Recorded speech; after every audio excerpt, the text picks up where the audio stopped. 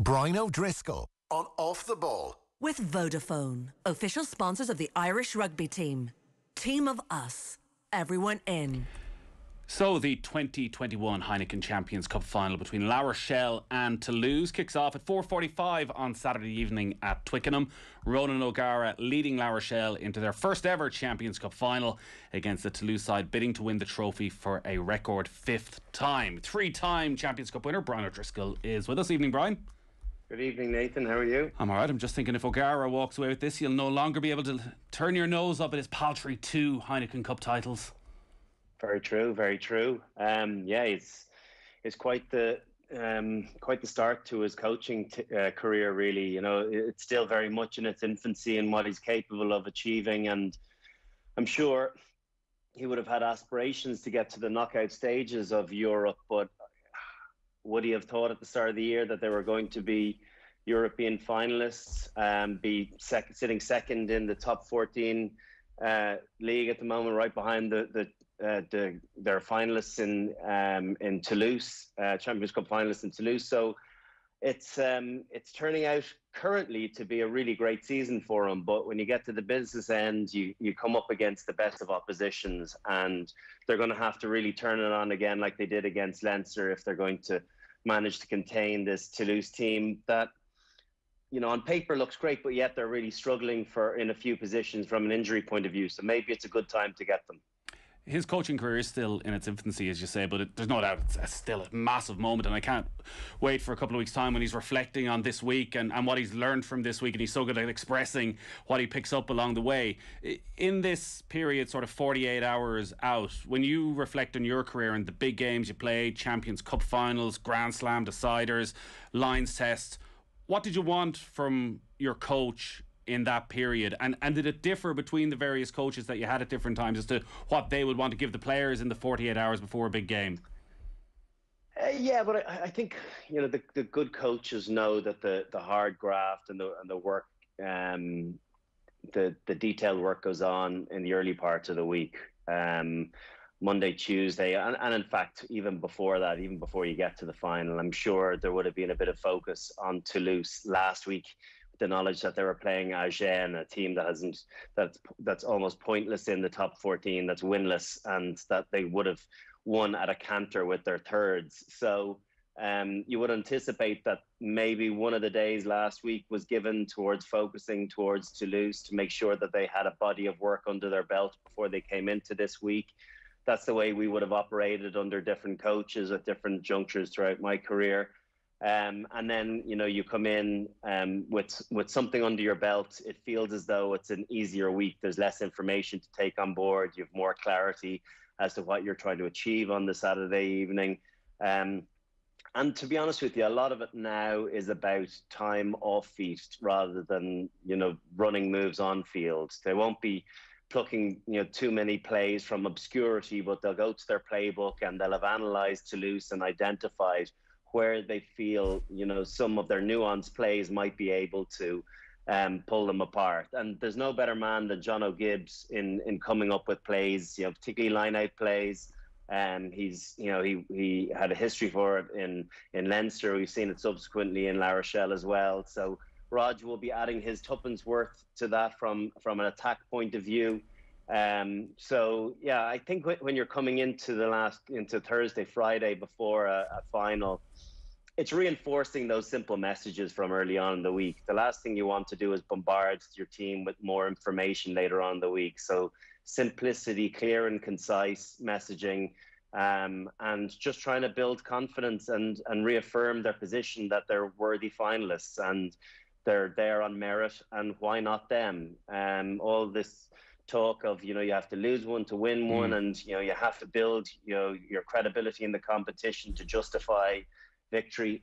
That goes out the window because they're in a final, and um, if they can deliver a better performance for 80 minutes, they're going to be champions, and and it comes down to that. So form books go out the window, even though those they are the top two and the top 14, and they are the informed teams in Europe on the basis of their consistent performances this is a toss of a coin as to who is going to who's going to turn up. Toulouse like favourites because of their history, because they're ahead of them in the top 14. But I really don't think there's a huge amount between these teams. And he's just got to leave it to his senior players now to try and guide them in for uh, for the last 24 hours and um, and just you know be there for for any nerves that might be there. Well, it's just about reinforcing positivity. Yeah. Did, did you like or did you see coaches give the big rousing speech about um, the emotional tone and what it would mean to your family and to the supporters, or did you like it just to be a calm, factual based build up to the game? More the latter. I think the, the occasion takes care of itself in finals. You don't need those rousing speeches. You don't need people to reinforce how big it would be for you, your family, the supporters, everybody at home, um, people that need a pickup in in their lives because of the you know the circumstances we found ourselves in over the last year. No one, no one needs to hear that because it's a final and the carrot is there. It's you know the hardest part is sometimes playing in a semi final um, but once you, you get to experience the occasion in the final and you get a shot at, um, at going um, to, to do something that no one's done in their club's history um, in, in La Rochelle. You know, they've never won a top 14. They've won a Pro D2, obviously.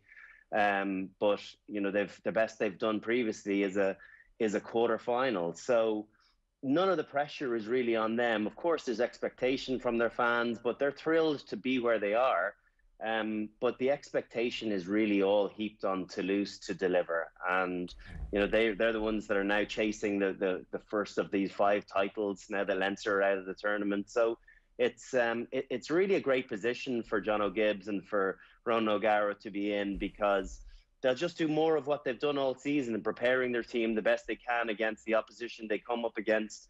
This one just happens to be a final, and the emotion will take care of itself you know Gibbes very well as a coach and O'Gara as a player, but do they strike you personality wise as perfect bedfellows on a coaching ticket? I don't know. I don't know. You know, I, I, I haven't gone there on a, you know, talking to Ron about relationships um, with Jono. You'd have to anticipate that, you know, it's it's not a, a perfect partnership. The fact that Jono is going on to Clermont, that Rog is going and taking the head job in La Rochelle. Why would you move from um, from an environment that is clearly on the up, that is that is is proving to be successful. So I don't know if there's if if everything is aligned between the two of them. I think that they've clearly got a huge respect for for you know each other's rugby knowledge. But anytime you look at the coaches box, um, they don't seem to be conversing very often. Um, I did, looked up once and, and saw there was a bit of a heated argument going on, but there's no harm in that. So I, I just wonder, um, you know, uh, success paints over any uh, over any cracks. So I guess we'll maybe we'll never know, but I just don't know if it's a perfectly cohesive partnership. Mm. Otherwise, they'd be both signing three-year extensions in the same club as you say, success uh, papers over everything. But as players, if you're in a group, it, does it does it affect players? Do you look at your coaching ticket and want them to be on the same wavelength all the time, or actually is a bit of healthy debate a good thing? Or as coaches, do you need to keep that away from the players all the time?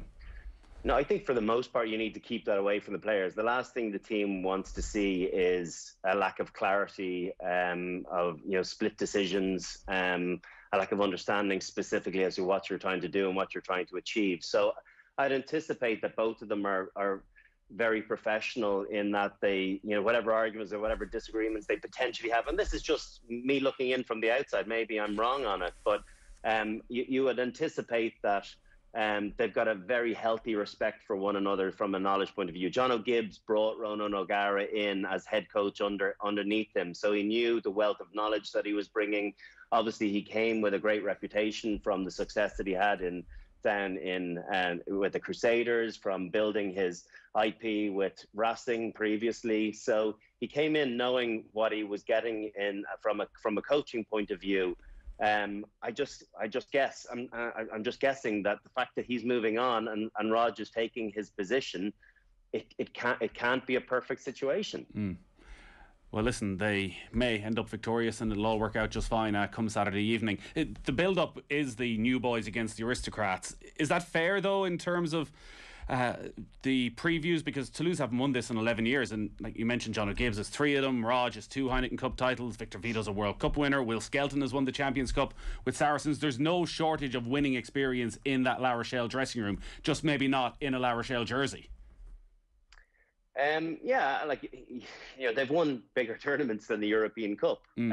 Um, as you say, World Cup winners. Um, lots of um, lots of experience and success littered th- throughout their team. Um, guys that have played on the big stage before, played in um, European finals, you know, been on the losing teams, likes of Brice uh, Brice Dulin has been there. Obviously, Skelton with um, with Saracens. Um, so you know, there's there's there's not going to be any um, any shortage of confidence um, for the big occasion. Um, they've managed to deliver it on the semi-final level against hotly tipped favourites of uh, the tournament in Leinster, and they put them um, to the sword. You know, for certain parts of the game, um, showed a physical dominance that um, I, I, guess we weren't anticipating. Um, so you know, there's nothing that they should be fearful of with this Toulouse team. What I would say about Toulouse is that they can play the game lots of different ways. You look at the, the grunt that they possess up front with the Arnold brothers and that, that front row of Faumuina and Cyril Baille. They're going to miss Julien Marchand, obviously getting sent or getting um, suspended for a, for a high tackle in the semi final.